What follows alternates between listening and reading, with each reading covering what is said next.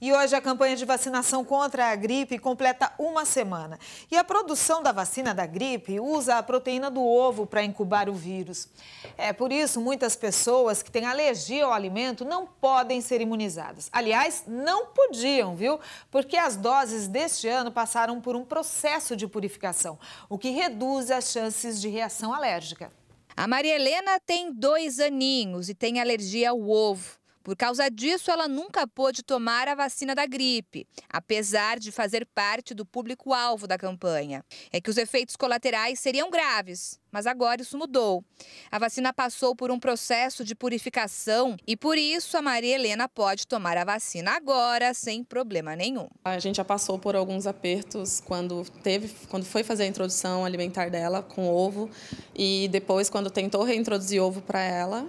É, então é sem chance de testar uma coisa duvidosa. Mas aí, no caso a vacina, que agora está dando certeza, a gente vai fazer esse teste sim. Com autorização médica, os alérgicos a ovo devem agendar a vacinação nas unidades de pronto atendimento. Muitas vezes a gente não conhece essas crianças, elas não estão em tratamento na unidade básica, está com um especialista, geralmente um alergista, a gente recomenda que a, que a família converse com o médico para ele sinalizar se essa vacina pode ser feita na unidade, porque é uma alergia muito leve, ou se é necessário a gente estar tá encaminhando para um local que a gente tem ali um pediatra de plantão e toda a estrutura para atender caso ocorra algum evento adverso. Outra novidade é com relação à faixa etária das crianças que podem receber a vacina. Neste ano, vai de seis meses até seis anos incompletos. Isso significa que aqui em Rio Preto são 5 mil crianças a mais que podem receber a imunização de graça nos postos de saúde. E esse público pode ter consequências com a gripe. A vacina da gripe deste ano protege contra os vírus da influenza A, H1N1 e H3N2 e da influenza B. São os tipos mais fortes e que podem evoluir para casos graves.